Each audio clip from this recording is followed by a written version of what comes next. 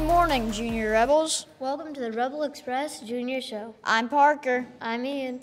Today is Tuesday, May 7th. Today is Be Awesome Day. It's a great day to be awesome.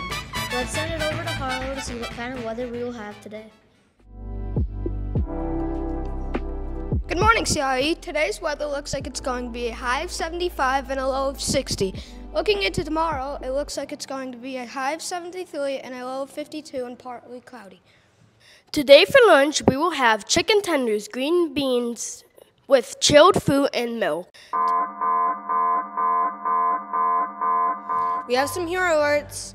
Today we're spotlighting some people who helped, encouraged, and respected others. Dakota B. helped a friend on the playground. Jeffrey B. Jeffrey says good morning every day to me. Wait to be a real good hero.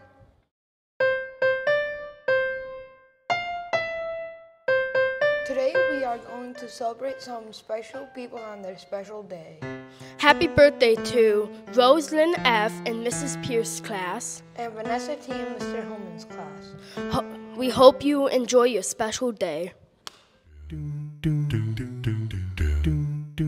Everyone, welcome to the Laughter Forecast where there's a 100% chance of smiles.